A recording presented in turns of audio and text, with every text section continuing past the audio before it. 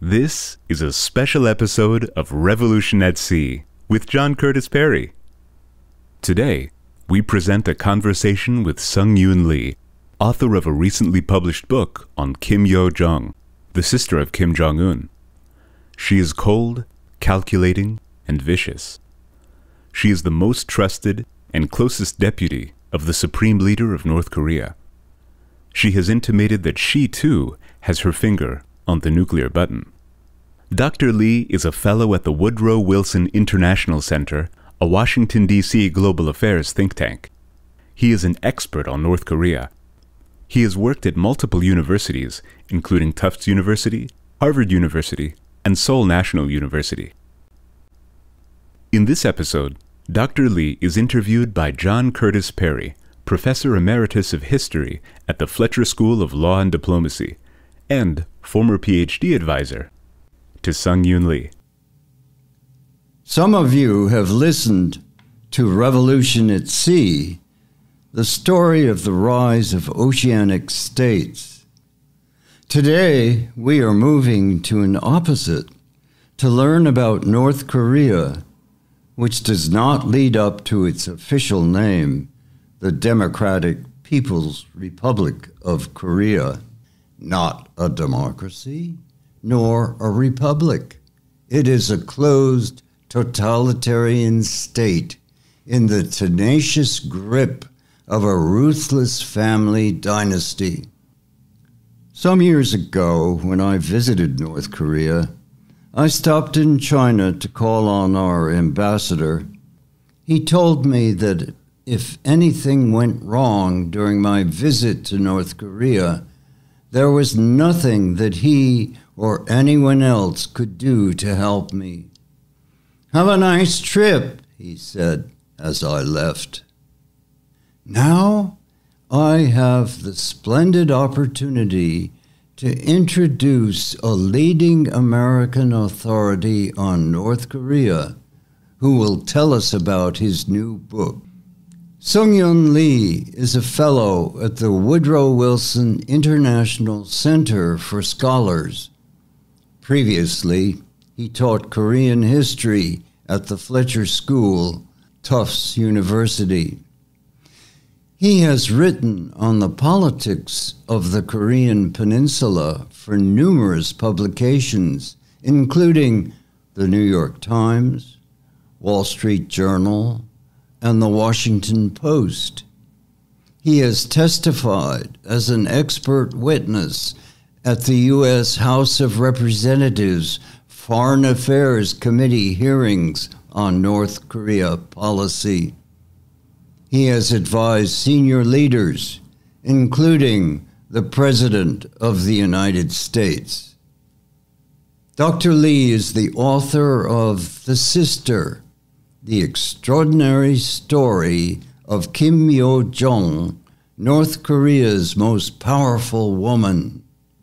It was published by Pan Macmillan in the United Kingdom in June and by Public Affairs in the United States and Canada in September under the subtitle North Korea's Kim Yo Jong, the most dangerous woman in the world. I will cite a sampling of the reviews his book is receiving. From Sir John Scarlett, former chief of the Secret Intelligence Service of Great Britain, MI6. In explaining the rise to power of Kim Yo Jong, Lee displays his deep knowledge and understanding of North Korea's extreme, ruthless, and self obsessed dynastic autocracy. Not a reassuring story. From Stephen E. Biegun, former United States Special Representative for North Korea and Deputy Secretary of State. An extraordinary, well researched, invaluable resource for understanding one of the most intriguing and least known figures in today's North Korea. From Max Boot, Washington Post columnist and senior fellow, Council on Foreign Relations. With great literary flair, Lee delivers an incisive portrayal of North Korea's princess. The sister is essential reading. The book will be translated into many languages, including German, Finnish, Hungarian, and Czech. And Dr. Lee's German publisher, Hoffmann und Campe, is billing it as one of the best five books of 2023 and a contender for several Best Nonfiction awards. Now, it is my privilege to ask Professor Lee some questions.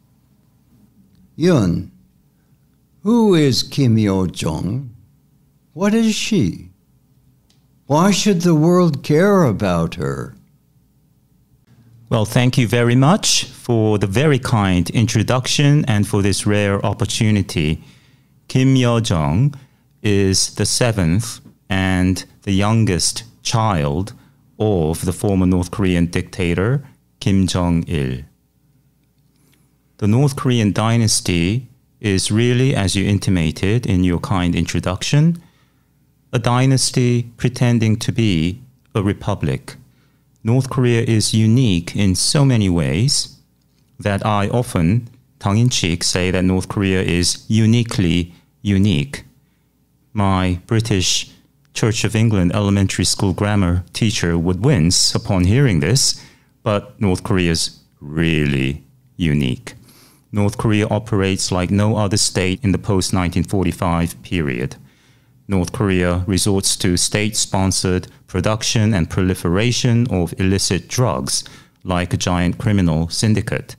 North Korea systematically counterfeits US $100 bills and $50 bills, and this is quite unique for a nation state. It's weird criminal behavior. And the United Nations, in a monumental report in 2014, the Commission of Inquiry report on human rights in North Korea alleged that the nature, the scale, and the gravity of North Korea's manifold crimes against humanity reveal a state, quote, that has no parallel in the contemporary world, end quote. Thus far, I failed to answer your question. Who is Kim Yo Jong? Why does she matter? She matters because she is, in my judgment, the world's first and only nuclear despotess. What I'm trying to describe is among the nine nuclear weapon states, I would argue that Kim Jong un, the North Korean dictator, is the least restrained by checks and balances, that on his whim alone, the North Korean dictator is prone or is able to preemptively strike a peaceful neighbor with nuclear weapons. And since April 2022, Kim Yo Jong, on numerous occasions in written statements, has made that explicit threat against North Korea's peaceful neighbor, South Korea. Kim Yo Jong has said that, quote, by the authority invested in me by Comrade Supreme Leader, her brother, and by the party and by the state, that she is in charge of her nation's policy toward South Korea and the United States, that she has her finger on the proverbial nuclear button. This is unprecedented in history, and this has implications. The fact that we have a relatively young woman who has indeed her finger on the nuclear button has implications that favor mostly the North Korean state. Why?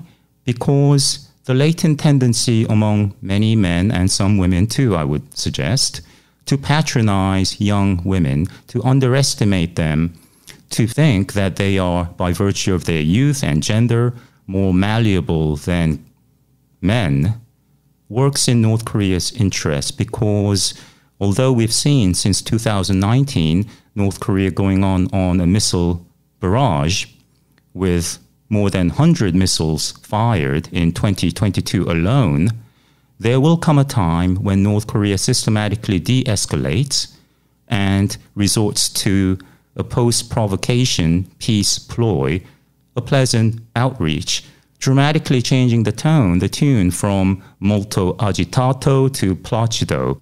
And she will be the face of her nation's diplomatic outreach, and she will once again convince the world that the nation means it this time. They're serious about denuclearization, rapprochement, reunification, peaceful coexistence, and all those good things.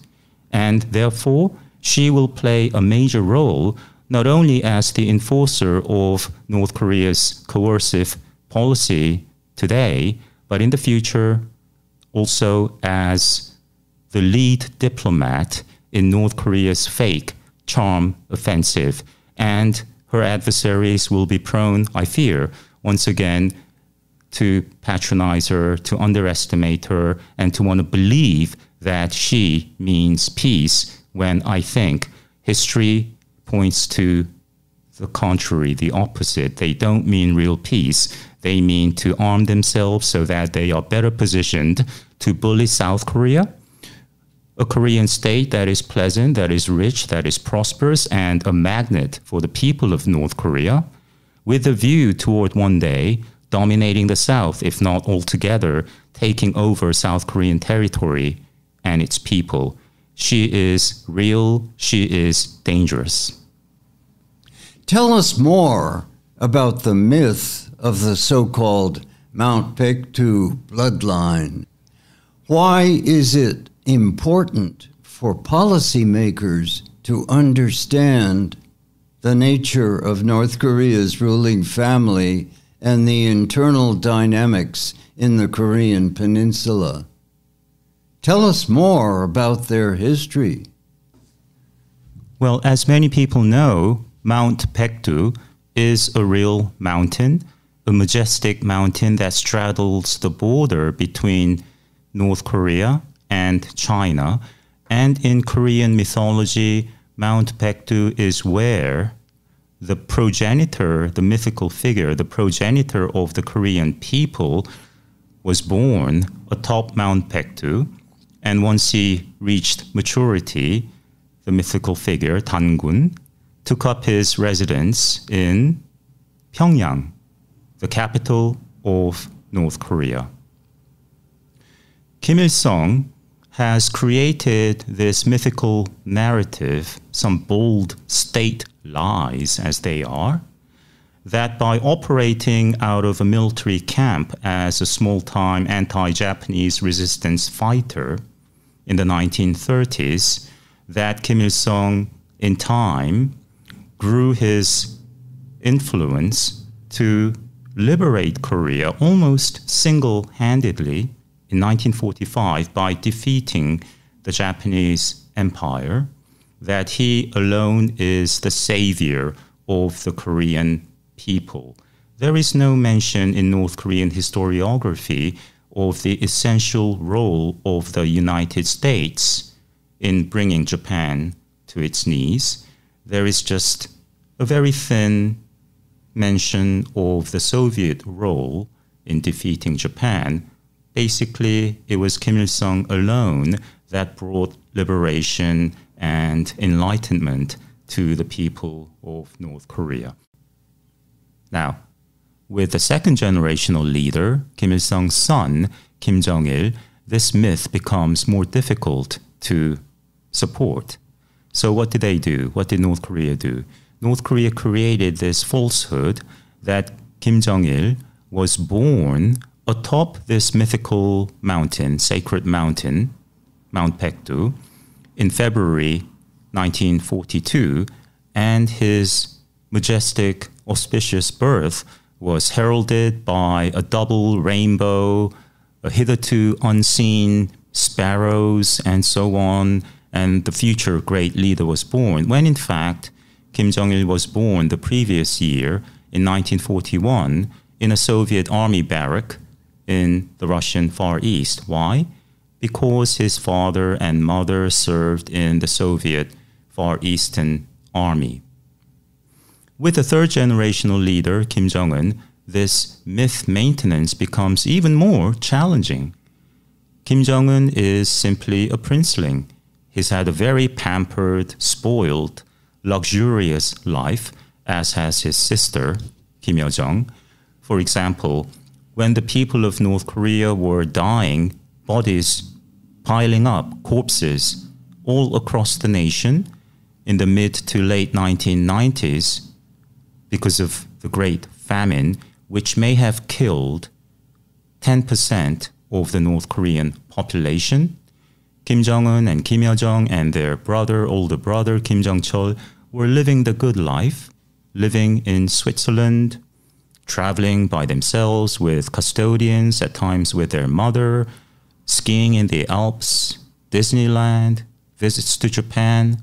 They've led only the most luxurious, extravagant, and idolized life. They are very spoiled. So, for North Korea, the maintenance of this big lie that heroic blood runs across generations of Kims and that this sacred chapter, glorious chapter in Korean history, started with their grandfather in 1945 and continues to this day under the great leadership of Kim Jong un. All this fake assertions, these fake assertions need to be maintained. They cannot be challenged. The cult of personality, the level of censorship, the level of the invasion of the private realm by the totalitarian state are all unprecedented in world history. What's also unprecedented, and I think forever will remain unique to North Korea, is that North Korea is the world's first nation state, despite enjoying the tremendous advantages of industrialization, urbanization, and close to 100 literacy among its adult population, suffered a famine. Again, North Korea is the world's first country, an industrialized, urbanized, literate country to undergo a famine and probably forever, always, will remain the only country that enjoyed those tremendous economic advantages and experienced a famine.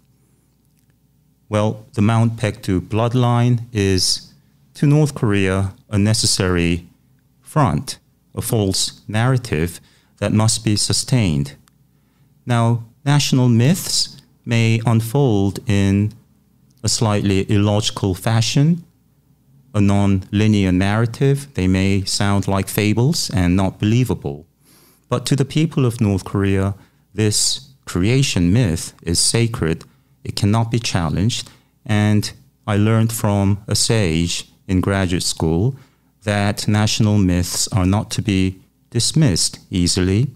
They may be nonlinear in the plot, but they say so much about the autonomy, the psychic energy of that people, and how those people feel and believe about their special place, role, and mission for the future. So, to the North Korean regime, the so called Mount Paektu narrative, mythology is essential. You warn that Kim Yo Jong in time will sing a different song.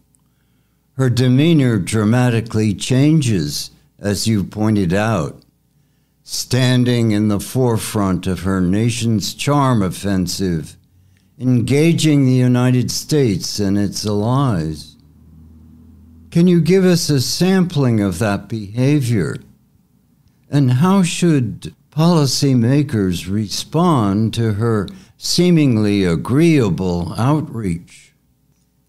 Well, you'll recall, of course, that Kim Yo Jong caused quite a stir sensation by visiting South Korea as the de facto lead delegate of the North Korean delegation to the opening ceremony of the Winter Olympics that South Korea hosted in February 2018. This is the first visit by a personage of the Mount Baekdu bloodline. So chimed many South Korean newspapers, the public. There was mass frenzy, fascination with this figure now stepping on South Korean soil. What did it mean?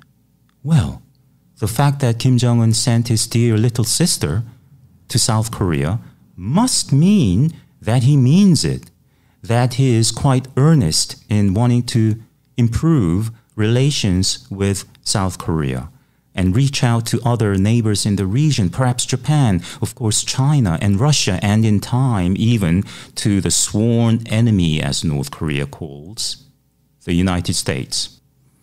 So said many pundits, newscasters, former government officials. It was simply exciting to try to catch a view of this royal personage, the princess from Pyongyang, even if it were on the TV screen. From the moment her plane touched down at Incheon International Airport, the major international airport in South Korea, there was 24 hour full coverage of the North Korean delegation. All eyes were fixated on this young, mysterious woman. Look how pretty she is, commentators said on TV news networks. Look how she doesn't wear heavy makeup, but perhaps it's the heaviest eyeshadow that we've ever seen. What does that mean? It must mean that she takes this sacred mission of peace seriously. Look how modest, humble she is in her demeanor, at times deferring to the 90 year old Kim Young Nam, who has been in government service for half a century. Everyone saw in her, it seemed, not quite literally, but it seemed as if all eyes were on Kim Yo Jong, and those eyes were charmed by her modest makeup, no jewelry apparently visible, and her occasional Mona Lisa smirk smiles. She smiled a bit. She shook hands. She never said a word to the press, to the public. She showed up to meetings, drank some wine, ate some food. That was it. And that evening of February 9th, 2018, at the opening ceremony of the Pyeongchang Olympics, curiously, she and her North Korean delegation were seated right behind and above the US delegation, which was led by Vice President Mike Pence. Seated behind Mr. and Mrs. Pence Kim Yo Jong exuded confidence. She knew that she was the star in the VIP royal box. She had her chin slightly up, her omnipresent smirk smile quite visible, and she did not utter a word, did not shake hands with Vice President Mike Pence. In fact, the Pences looked at times a little displeased grumpy even, refusing to clap even once when North Korean athletes and South Korean athletes together made their celebrated entrance.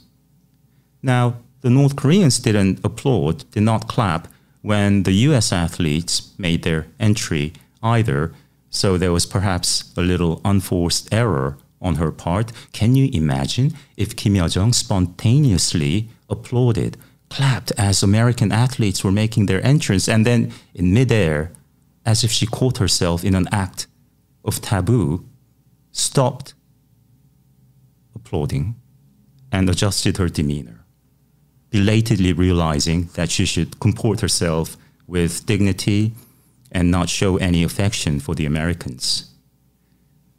The entire world would have wooed that, oh my God, she has a heart of gold she means well. So there was an opportunity lost, perhaps, for this princess from Pyongyang.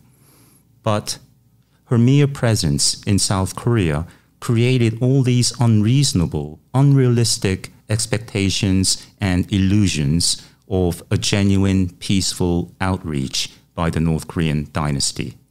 She deceives. She shows up, she smiles, and we all want to believe her, it seems. A few years later, she changed her tone to one that's quite unpleasant, oftentimes foul mouthed, very sarcastically. She has denounced the South Korean president, both the current South Korean president and his predecessor. She has made fun of President Trump. She has used unkind words to refer to President Biden. And the effect is one of amusement. Whereas if it had been her brother or a grumpy looking North Korean male official who had uttered these vulgar words, I think the reaction would have been more one of indignation. Whereas she gets a pass just by virtue of her gender, her youth, and her royal identity. How do you judge the past 30 year record of U.S. policy toward denuclearizing North Korea, or those by its allies, including South Korea? Why has the anti nuclear policy failed? What should we do about North Korea? I find it odd that the official phrase that has been used by North Korea, South Korea, the United States, and everyone else, including UN member states, to refer to this campaign to try to denuclearize North Korea over the past 30 years has been not the denuclearization of North Korea, but denuclearization of the Korean peninsula, as if there are nukes in the South. Once upon a time, there were. From 1958, the United States deployed hundreds of tactical US nuclear weapons in South Korea, but withdrew all of them by consent between Washington and Seoul in 1991. So, when you say, Professor Perry, it's been an unrelenting failure, well, yes, sure. But there have been actually two successful campaigns of denuclearizing the Korean Peninsula. The first was in the 70s when the United States caught wind of South Korea's secret nuclear weapons program and put enormous pressure on South Korea to dismantle it, to completely tear it down, even threatening to withdraw all US troops from South Korea. So it was done. The second case of success in denuclearizing the Korean Peninsula, as I mentioned, was in 1991. The United States and its allies, including South Korea, perhaps exuberant, if not flush with victory, emerging from the Cold War victorious with the imminent collapse of the Soviet Union, thought it a reasonable concession for the United States to withdraw all US nukes from South Korea and place their trust in North Korea that it would give up also its nuclear weapons program. The record, the scorecard, if you will, since then, over the past over 30 years, has been the following North Korea a nuclear power with at least 50 nuclear warheads today, probably more, many, many ICBMs, intercontinental ballistic missiles that can hit every part of the continental United States, North Korea armed with submarine launched ballistic missiles, intermediate range ballistic missiles that can hit Guam in 14 minutes, that is a veritable nuclear armed state with also chemical weapons and biological weapons, whereas South Korea has no nuclear weapons at its disposal. So, over the past over three decades, I think we can indeed say that this record is not stellar, it's been a total failure. Not only has North Korea come ahead with dozens of nuclear warheads, North Korea has also wrested away from its overwhelmingly richer, bigger adversaries, literally tens of billions of dollars worth of cash, food, fuel, and other blandishments. That's a victory for the DPRK and something to the contrary for Team USA. Yoon, how do we explain this long, dismal record? What, what should we do about North Korea? Well, as I intimated a few minutes ago, take North Korea seriously and stop patronizing North Korea. We need to really address, change our attitudinal approach to North Korea, assuming that North Korea, by virtue of its small size and backwardness and weirdness, is a paranoid player that simply reacts to what the mighty United States does and says. As if North Korea has no agency, as if North Korea has no long term strategy and is merely content to survive. Every weapon, including nuclear weapons, have both a defensive and offensive property. Even the lowly shield can be used as a weapon. Yes, of course, nuclear weapons bring enormous benefits in the defense of one's nation, but they come in also quite handy in making threats and in extorting a peaceful neighboring state in South Korea. The basic internal dynamic in the Korean peninsula is that of a pan Korean contest, a contest for pan Korean legitimacy.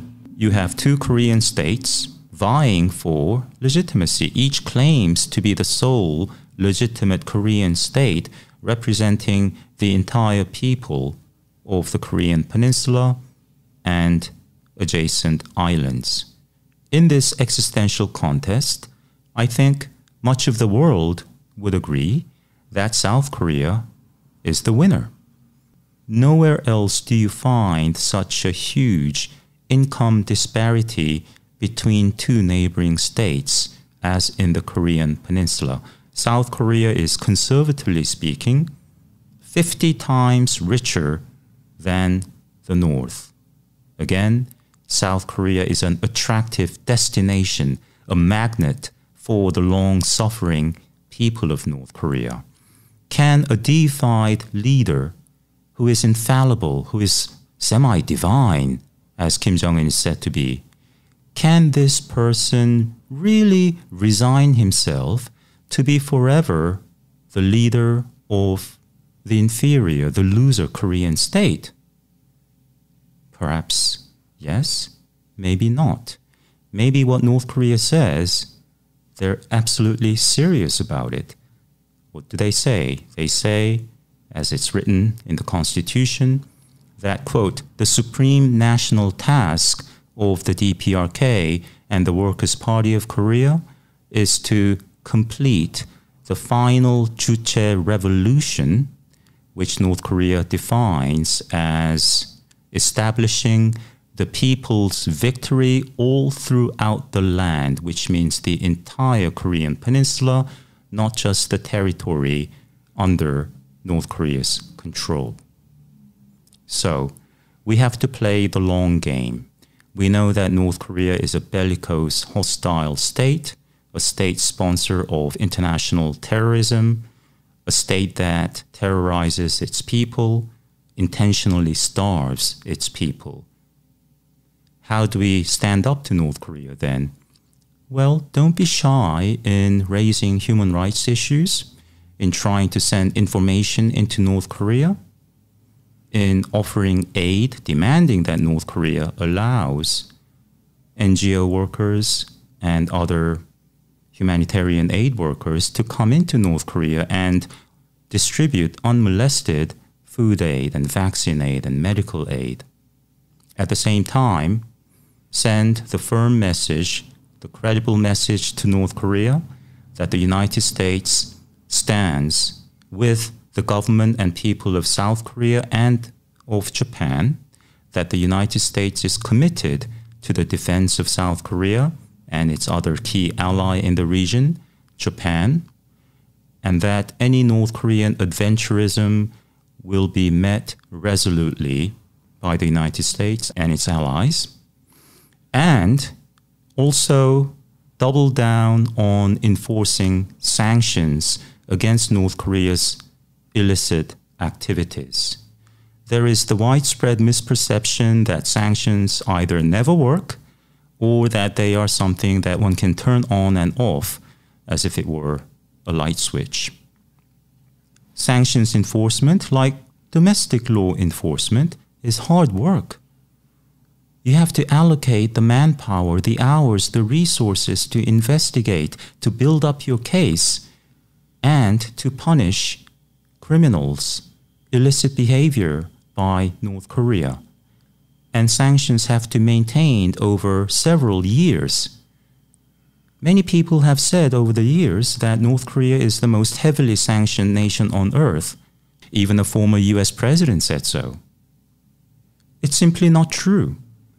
There was not even a single US sanctions legislation until February 2016, and not a single UN sanctions resolution until 2006, some 10 years after the start of the famine in 1995. So today, US sanctions vis a vis North Korea remain much weaker in kind, in numbers, than US sanctions against Russia, Iran, Syria, and several other countries. So sanctions enforcement on North Korea must be sustained, and the United States and other democracies of the world must be given a reason, an incentive to do their part to try to slow down North Korea's nuclear development and other illicit activities by sanctions enforcement against the regime. All this takes time, and at the end of the day, in terms of compelling North Korea to give up its nuclear weapons, our efforts may fail. But at the very least, in doing our part according to US laws and international law, trying to slow down North Korea's rapid nuclear development is a worthy cause. Do you think Kim Yo Jong will be an effective negotiator in North Korea's efforts to gain sanctions relief? Oh, yes, very much so. She's, after all, so charming. She can smile, and she can put on a scowl, and she can melt hearts and strike fear in her admirers. Seriously speaking, there have been reports as of May 2021 that Kim Yo Jong has been ordering the public execution of officials who get on her nerves. What is their alleged crime? They look at her funny. Poor posture. Too ambitious. They look at her another second too long. So the power to arbitrarily execute people is to play God, is the ultimate sign of uncontested power. Can this woman be serious when she puts on her charm and with a beaming smile re engages the world? I don't have a foolproof answer to that question, but having observed generations of Kims, for example, when Kim Il sung, in the wake of a dramatic change in the international environment, with National Security Advisor Henry Kissinger's visit to Beijing in July 1971 that paved the way for President Nixon's visit to China, the first ever by a sitting US president the next February, what did Kim Il sung do? This dramatic rapprochement between the United States and China, it freaked out a lot of people in the region, dependent states of both China and the United States. Japan, South Korea, Vietnam, North Korea. Taiwan was very concerned that the United States might sell Taiwan down the river. So, what did Kim Il sung do? Sit in his bunker and complain? No. He came out beaming, smiles, entertaining foreign visitors. For example, on May 26, 1972, Kim Il sung sat down with two New York Times reporters, Harrison Salisbury, a noted former head of the Times Moscow bureau, and John Lee, bureau chief in Japan, and they talked with Kim Il sung for three hours. And Kim Il sung came across as not only not crazy, but quite charming self effacing, very knowledgeable, humorous, and reasonable in explaining to the American visitors that Kim Il sung has to please his constituents by his anti US rhetoric. That Kim Il sung is eager to speak with the South Korean president and will not make a preconditional demand that the United States troops go home. The next month in June, Kim Il sung met with a reporter from the Washington Post. The next month in July, with a Harvard Law School professor, and met throughout the year with over a dozen Japanese journalists. That was Rambo 1. It was a good film, like the first Rambo film, First Blood.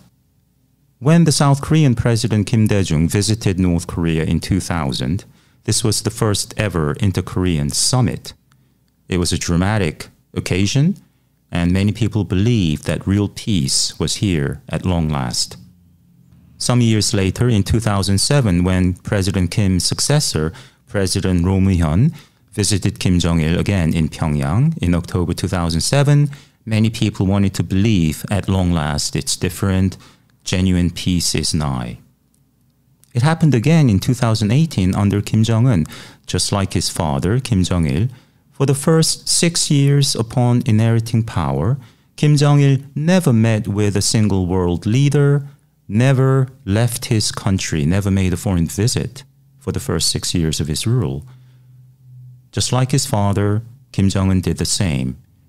He acted in strange ways, met with a retired American professional basketball player called Dennis Rodman several times, but refused to sit down with a single world leader, never left his country for the first years of his rule upon inheriting his power in December 2011. And then what happened? Going back to the dad. In May 2000, Kim Jong il pops up in Beijing. Why? because he had an important summit meeting coming up. A South Korean president, the South Korean leader, was to visit in June. In July, for the very first time, Kim Jong il, a North Korean leader, greeted, received the head of the former Soviet Union or Russia, President Vladimir Putin. A few months later, Kim Jong il sent a special envoy to President Clinton, inviting Clinton to Pyongyang and so on. And this is a replay of the same playbook by Kim Jong un in 2018. He showed up in Beijing in March. Why? Because he had an important meeting with the South Korean president, Moon Jae in, in April. Then he visited China again with his sister, not with his wife, but his sister, and met with President and Mrs. Xi in Dalian in northeastern China. And then, of course, the dramatic first ever summit meeting between the North Korean leader and a sitting US president took place in June in Singapore, and so on. Thus, coming across as a reasonable leader, a responsible steward of his nuclear weapons with whom we can do business. a dramatic image makeover. So let's remember history. Knowledge of history does not guarantee correct assessment of unfolding events today. But, if I may say so, ignorance of history virtually guarantees that we will fail, and the cost of failure can be enormous. Professor Lee, your book is receiving an excellent response, and we much look forward to your continuing work on the mechanics of dealing with this challenging problem that North Korea poses. We wish you great success and thank you for meeting with us. Thank you very much for this wonderful opportunity and privilege. And as you know, I dedicate my humble book to you, Professor Perry, my mentor for life, and the author of the forthcoming book, co written with Professor Geoffrey Gresh of National Defense University, Taste and Trade. This has been a conversation between John Curtis Perry and Sung Yoon Lee, recorded on May 23, 2023, in Gloucester, Massachusetts, and published as a special episode of the Revolution at Sea podcast series in October 2020. This episode was recorded by Emily Games and 1623 Studios, with additional voicing by Jamie Rosenberg, and production and distribution by Albert Bouichade Foray.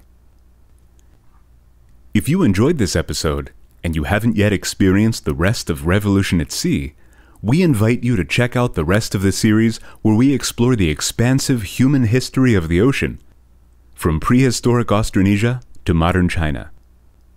Goodbye until next time. We make this recording freely available under the Creative Commons license Attribution Share Alike 4.0 International. Anyone is free to copy, distribute, and reuse this recording. Attribution to the original work is required, along with an indication of any material changes made to it.